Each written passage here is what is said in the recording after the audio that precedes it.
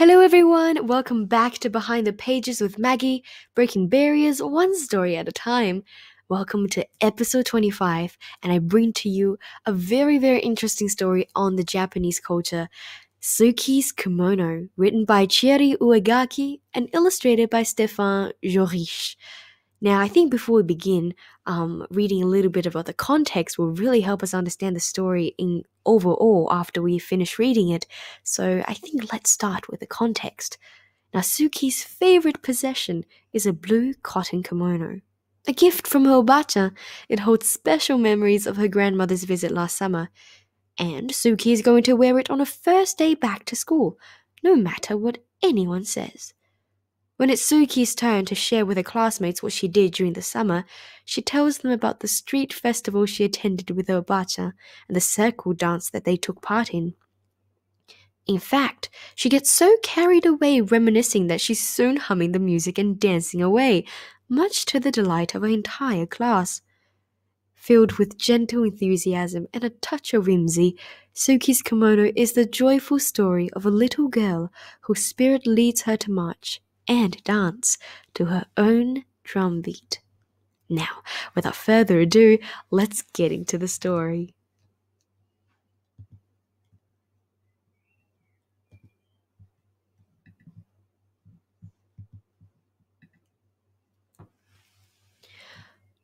On the first day of school, Suki wanted to wear her kimono. Her sisters did not approve. You can't wear that, said Mari. People will think you're weird. You can't wear that, said Yumi. Everyone will laugh, and no one will play with you. You need something new, Suki. You need something cool. Abasuki shook her head. She didn't care for new. She didn't care for cool. She wanted to wear her favorite thing, and her favorite thing was her kimono. Suki's obachan had given her the kimono. The first time Suki wore it, her obachan took her to a street festival where they slurped bowls of slippery cold somen noodles and shared a cone of crunchy shaved ice topped with a sweet red bean sauce. Under strings of paper lanterns, Suki joined her bacha in a circle dance. She followed her and copied her movements, trying to be as light and as graceful. She watched the other women and children who danced, especially those who were dressed in her cotton kimonos, just like her.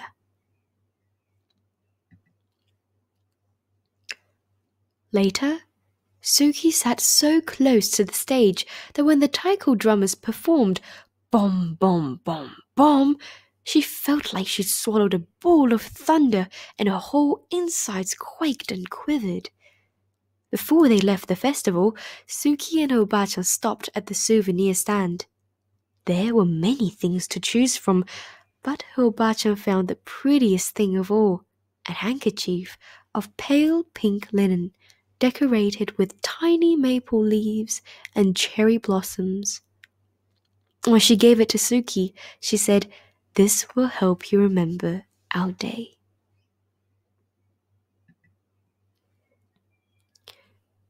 Now it was time for school. Mother checked Suki's obi one last time and took a picture of Mari, Yumi, and Suki together by the front steps. Then as she watched, the three sisters made their way down the block to their school. Mari and Yumi stayed several places ahead of Suki and pretended they didn't know her. But Suki didn't mind.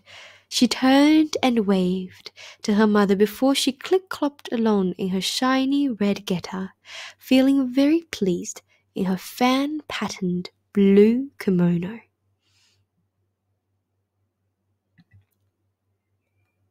Once in a while, Suki would lift her arms and let the butterfly sleeves flutter in the breeze.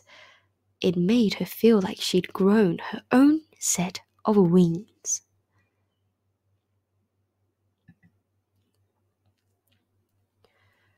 When she reached the school, Mari and Yumi hurried across the yard to a group of their friends.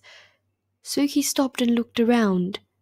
Some of the children turned and stared at her, and others giggled and pointed at her kimono. But Suki ignored them. She took a seat in a swing to wait for the bell. A girl dressed in overalls just like a pair Suki had at home sat on the swing beside her. Hi, Suki, said the girl. Hi, Penny, said Suki.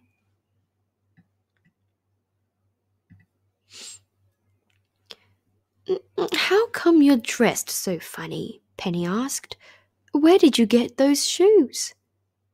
Suki lifted her feet off the sand and wiggled her toes. I'm not dressed funny, she said. My grandma gave me these shoes. Suki started pumping her legs. After a moment, Penny did the same. And soon they were both swinging as fast and as high as they could. Swoosh, swoosh, up and up. When the bell rang, Suki and Penny jumped off their swings and ran to the gym for the first day assembly. Once they are finally taken to their new classroom, Suki chose a desk near the window, and Penny chose a desk next to Suki. As they waited for everyone to find a seat, two boys in front of Suki turned and snickered behind their hands. One of the boys reached over and snatched at Suki's sleeve. Look at this, he said. She's a bat. Suki felt her cheeks burn, but she did not respond. Instead, she concentrated on sitting up straight and tall, the way her Obachan always did. It was easy to do with an obi around, wrapped snug around her middle. Her obi was golden yellow, and in its folds Suki had tucked away her pale pink handkerchief. Welcome to the first grade, said the teacher. My name is Mrs. Paggio. She smiled. Let's introduce ourselves and tell everyone what we did this summer. When it was her turn to speak, Suki stood up and told the teacher her name. Well, hello, Suki, said Mrs. Paggio. What did you do this summer? My grandma visited us, she said, straightening her sleeves. She brought me my kimono and my geta. Suki raised her foot to show the teacher her wooden clog. Somewhere in the classroom, someone laughed. Basuki took a deep breath and continued. The best thing was that she took me to a festival and there were dancing girls dressed like me, and they danced like this. She took a few steps and swayed her arms sideways.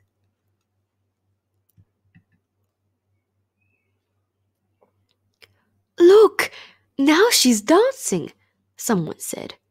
Basuki didn't hear. She hummed the music she remembered hearing at the festival.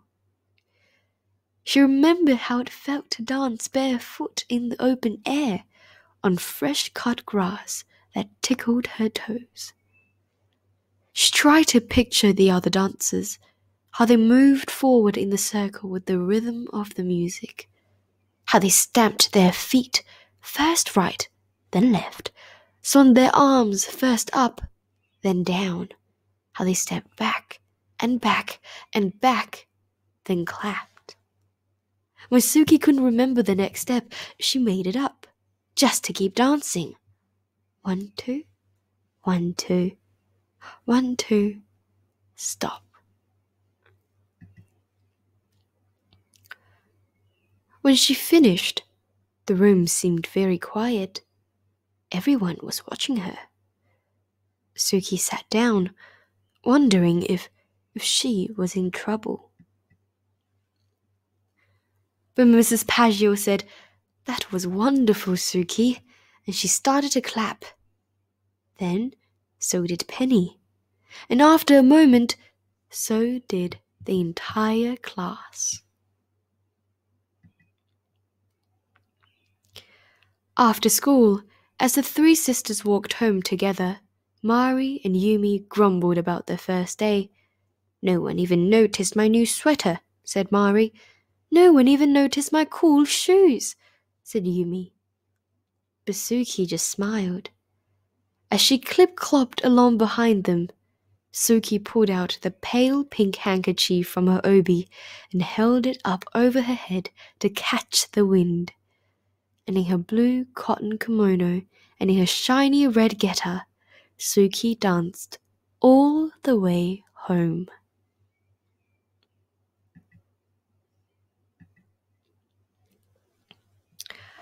Well, that is the end of the story.